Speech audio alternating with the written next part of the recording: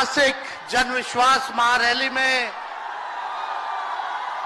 उपस्थित राष्ट्रीय जनता दल के राष्ट्रीय अध्यक्ष हमारे पिता आदरणीय श्री लालू प्रसाद यादव जी कांग्रेस पार्टी के राष्ट्र अध्यक्ष आदरणीय मल्लिकार्जुन खड़गे साहब जी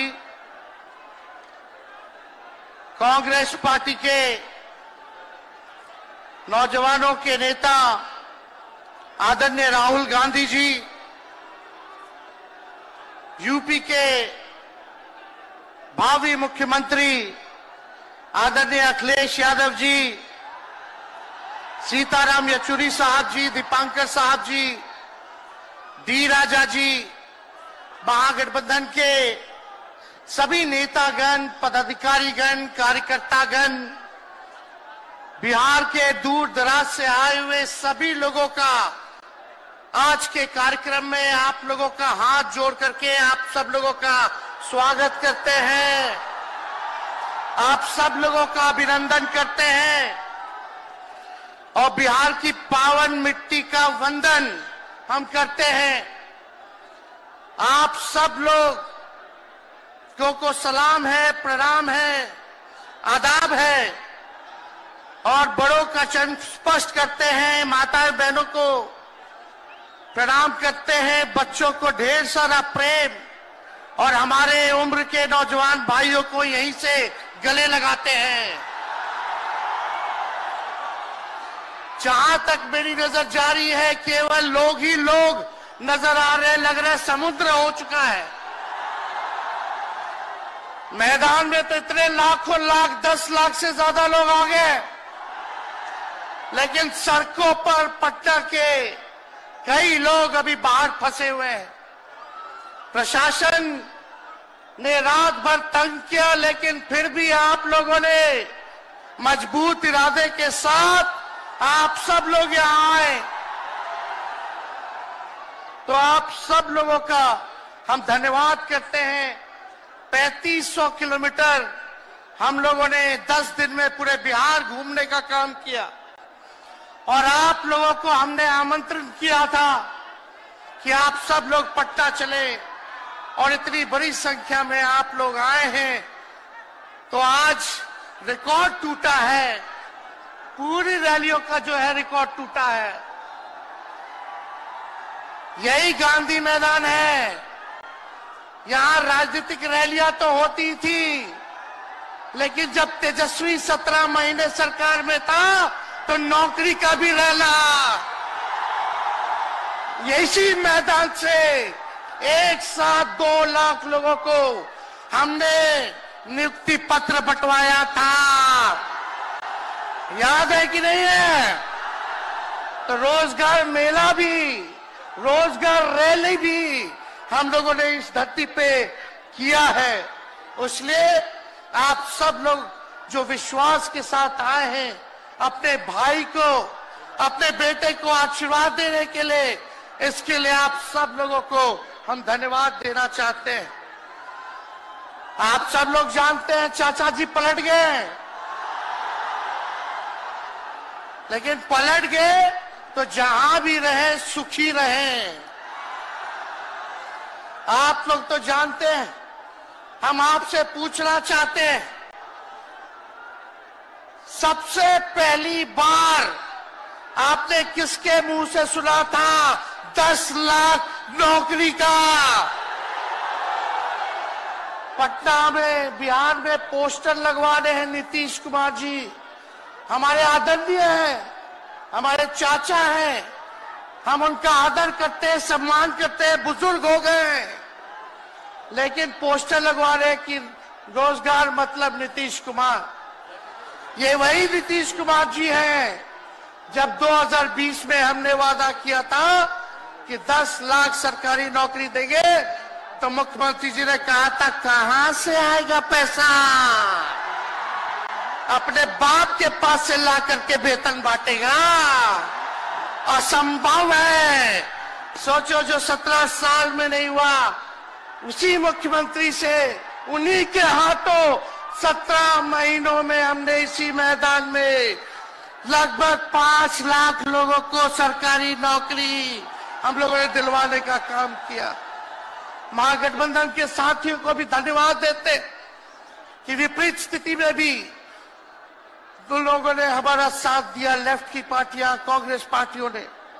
लेकिन सत्रह महीने में हम लोगों ने कितना काम किया?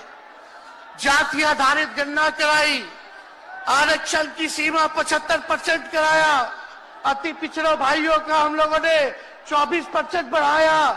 पिछड़े भाइयों का बढ़ाया। हम लोगों ने दलित महादलित भाइयों का बढ़ाया। हमने आदिवासी भाइयों का बढ़ाया।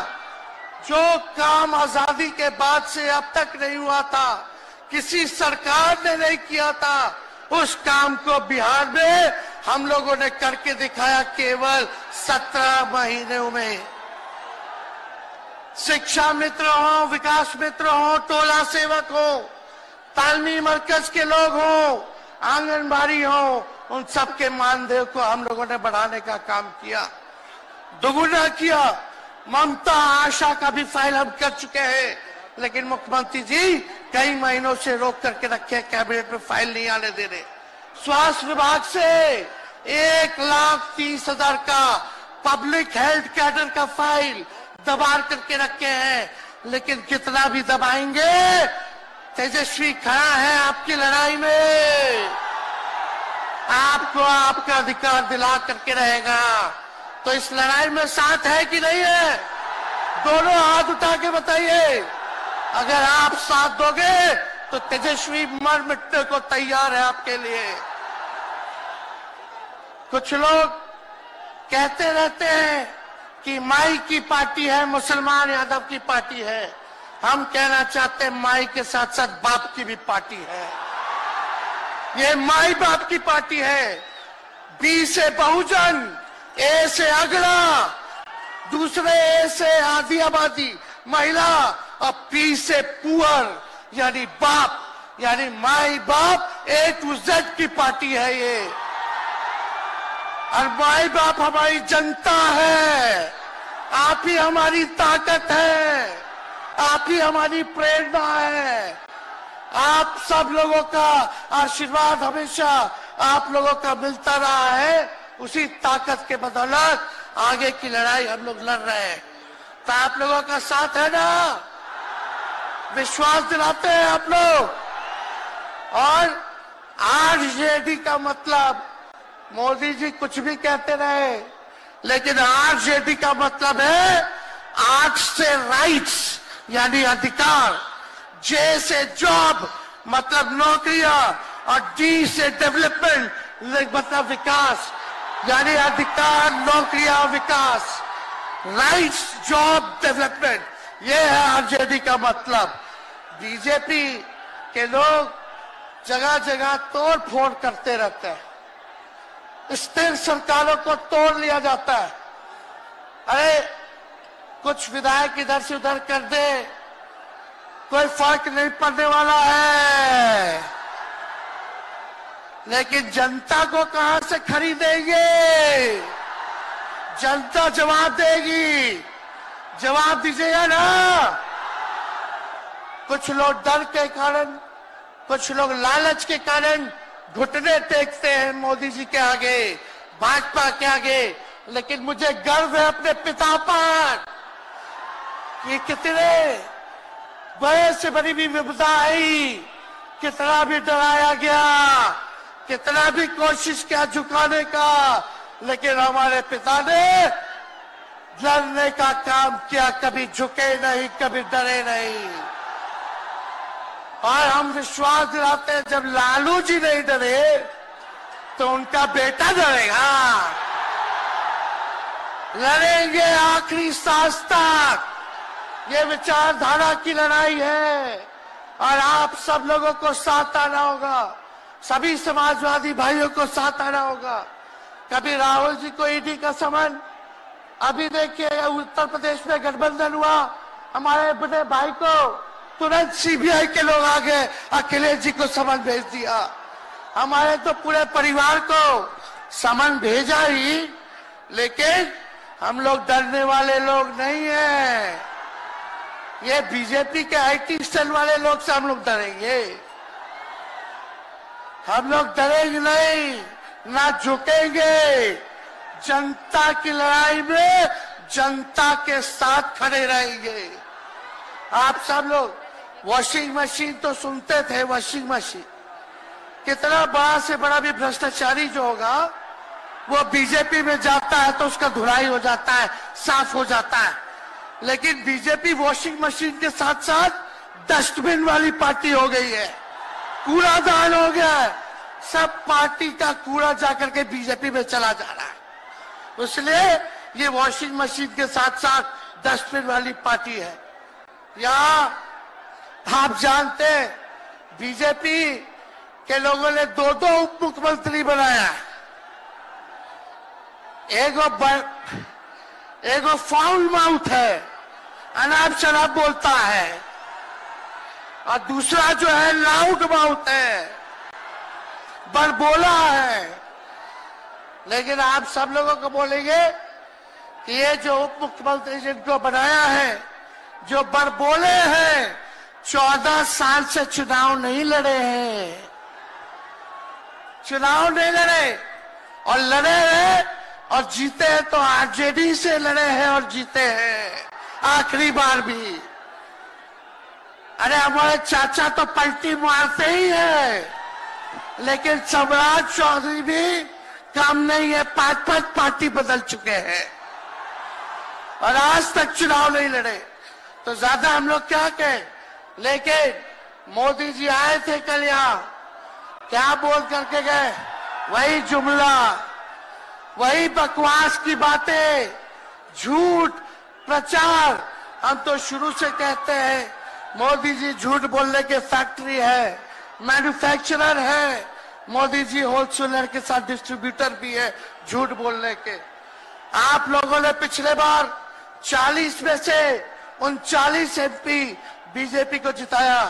आज यहाँ बिहार के ज़िले ज़िले से हर लोग आए हैं। भाजपा के सांसदों से पूछना कि उनके जिला में भाजपा के लोगों ने क्या किया। बताओ, मोदी जी ने कोई कारखाना दिया? कोई नौकरियाँ दी? पलायन रोका? गरीबी मिटाई? क्या महँगाई कम की? कहा से फिर बिहार को विशेष राज्य का दर्जा देना था? वो भी नहीं दे पाए। जरा सवाल कीजिएगा कि आप कहते थे दो दो करोड़ रोज़गार देंगे, पंद्रह पंद्रह लाख रुपया खाता में देंगे। क्या हुआ? इसलिए आने वाले समय में आकलन करके आप लोग निर्णय लीजिएगा और वोट देने का काम कीजिएगा। तो आप सब लोगों को ये कहना है कि भाजपा के लोग गोबर को भी गाजर का हलवा दे करके परोस देते हैं। इतना झूठ बोलते हैं लोग। बताओ गोबर को गाजर का हलवा बना करके दे देते हैं, परोस देते हैं। झूठा लोग है ये लोग। इसलिए कल आए थे प्रधानमंत्री जी, बोल रहे थे हमारे पिता के बारे में, हमको इनडायरेक्ट बोले कि अपने पिता का नाम क्यों नहीं लेता है? अपने पिता का काम क्यों नहीं गिनाता है? मोदी जी थोड़ा कान खोल के सुनिए आज।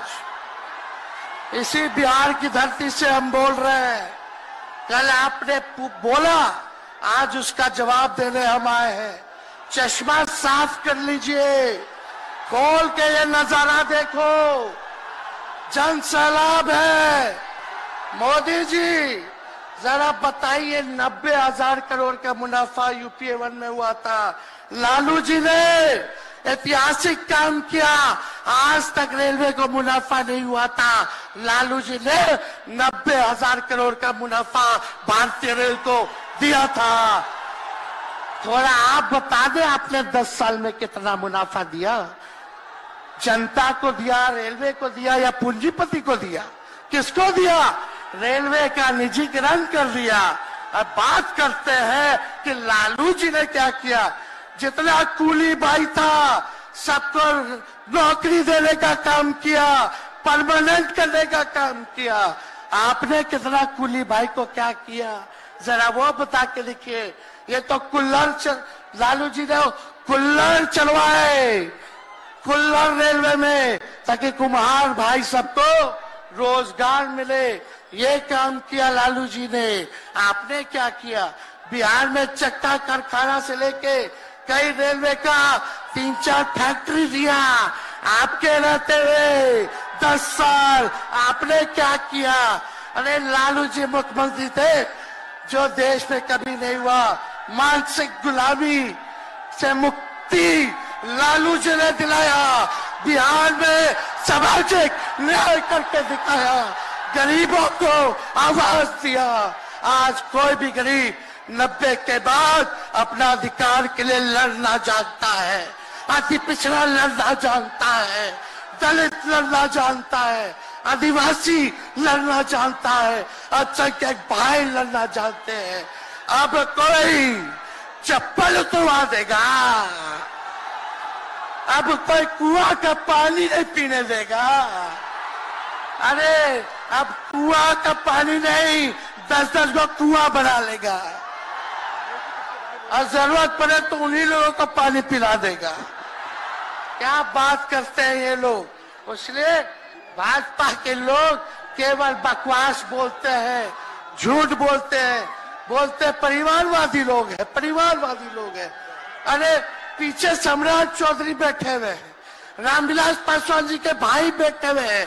पारस जी, कई नेता बीजेपी में परिवारवाद के लोग हैं। तो वहाँ इनको परिवारवाद नज़र नहीं आता है।